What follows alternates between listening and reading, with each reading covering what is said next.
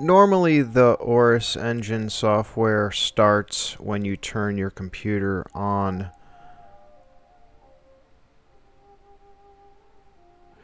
It could take a minute or two uh, for Aorus engine to kick in.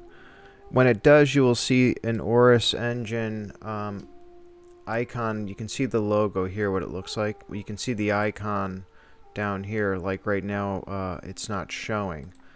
So there was a Microsoft update, for example, recently, and for some reason now um, it's not kicking in during startup. Even though, I'll show you here uh, under settings,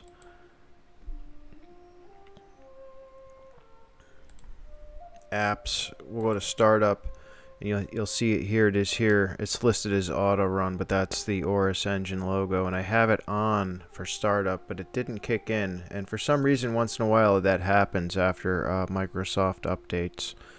So uh, what we're going to do is um, we're going to start up the Aorus engine manually. Okay, so there it is. It, it kicked in. So I'm just going to minimize it for a moment here but you'll see it's still on. There's the logo, which you would normally see during startup. So next what we're going to do to correct this is we're going to right click on the shortcut. We're going to go open file location and you're going to come down and you're going to click on this OCS scanner and run it. It's the overstop overclock scanner application. Just double click it. Click yes.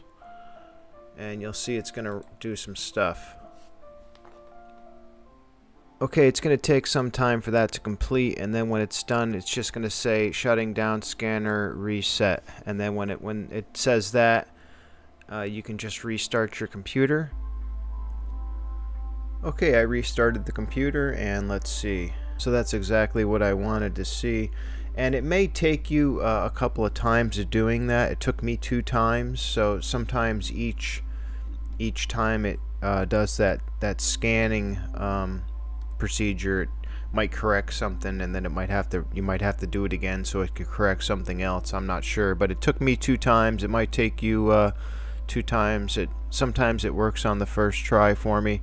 But there you go. That's how to fix that. I also have a tutorial showing how to update your Aorus engine software. There's a link in the description for that video as well. I hope this helped you out